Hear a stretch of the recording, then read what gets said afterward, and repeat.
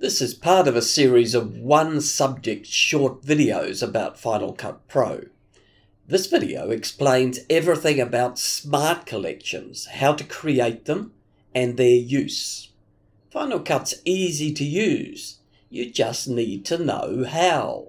I'm Bruce McBride and I can provide one-on-one personal tuition over the internet. Just click on the link trainingfinalcutpro.com. Now let's get right into this. Final Cut Pro is not just an editing program. It's also a database that separates and categorizes the different types of content in your footage. To keep the varying subject matter separate and easily locatable, Final Cut uses several tools.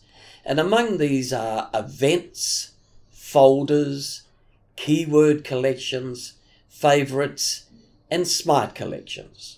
Today I'm talking about smart collections, as these automatically search your footage on import and put different subject matter into folders for ease of location when you're editing. And you guessed it, they're called smart collections. While this happens on import, you also have the ability to create your own smart collections from metadata that's associated with your footage. And this is referred to by Final Cut as media. So media is a term for everything you can edit in Final Cut, and it includes videos, stills, music, and audio files. So towards the end of the video, I'll show you how to make your own smart collections. But in the meantime, let's look at how Final Cut creates the automatic smart collections. Let's face it, the best edits are achieved when you're in the mode and the edit will flow much better. So if you can easily and quickly find the footage you need without having to search through the browser and then subsequently lose your flow. As I said, Final Cut will automatically do the searching for you and create the following smart collections. Select a library in the browser sidebar. To the right, in the browser, you'll see all of your media. These have been automatically created and filled with separate content from your imported media. Click All Video. This shows all the video only nothing else. Click on audio only. This only has your audio files, no video. Click on favorites. At this stage it's empty because no favorites have been created yet. You can select just part of a clip that's good for the edit and ignore any unusable parts of that clip. So let me explain. Let's use this clip as an example. At the very start, it's out of focus and a bit wobbly it settles down and then shows the yacht moving through the moored boats.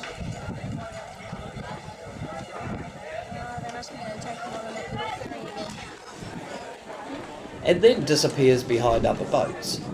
I only want the middle section for the edit. If I hover over that selection, a yellow outline shows around the part of the clip I want. Now press the F key a favourite's created and a green line shows over the selected portion of the clip. And now when I select in the Smart Collection, Favourites, there's the green line over the whole thumbnail, as only that portion is selected in the Smart Collection.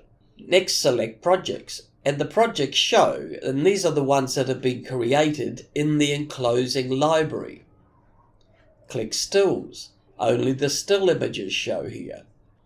And other smart collections that can be automatically created are scenes with people in them. Final Cut creates three categories. Video clips with one person in them, clips with two persons, and wide clips with a group of people. And I expect you're asking yourself now how to set up Final Cut to automatically make these smart collections for you. You can set them up in preferences and you have the choice of modifying them with each import that uses the I for the import window. You only need to tick Find People, Consolidate Find People, and create new smart collections. The other selections will be discussed in other videos. The selections you've made will be remembered until you change the preferences in the future. And as I said earlier, you can modify these preferences on any import. So when you open the import window, you'll find any of the settings you made in preferences are pre-selected. You can change them for this import only. The preferences you set here are not changed for future imports. Now finally, let's find out how to make our own smart collections. Select the list view at the top. You can see how the clips are selected, starting with the name. These can be sorted like a database. The columns can be moved, and if you hover to the right, you'll see more columns. Right click on any column header. You'll see all of the choices of media data that you can show. The ones with the ticks are already on show. Click in the Start column and untick, and you'll see it's hidden. Let's undo that. To create your own Smart Collection, click the clip icon under the magnifying glass. Click the blue downward arrow to the right, and these are the items that you can make a Smart Collection from. Select Date. You can use any of these criteria, and you could also make multiple selections. To remove a search, click the minus at the right. And now as an example, I'm going to create a smart collection to show you the parts of footage in the browser that I've already used in the project. Make sure you've got the correct library selected in the sidebar. Click on the selection arrow and select Used Media. You can select either used or unused, but select used for this. Now click New Smart Collection and you'll see an untitled smart collection will appear with your other smart collections. You can change the name here and you'll see all of the media used in the project in the right hand side. And this is where you'll see the real advantage of smart collections. This used media is dynamic. So as you add more media to the project or remove it, the smart collection will update itself. In the browser, there's a clip 0011. It's in the project towards the beginning. I'll select it and a yellow outline appears and I'll delete it. At the moment, it's still showing in the used media smart collection. If I select another item and then come back to used media, the smart collection has updated and 001 has gone. And finally, you can delete a Smart Collection by right-clicking on it. I hope this explains all you need to know about Smart Collections in Final Cut. Thanks for watching. Please like, subscribe and press the bell. There are new videos every Sunday.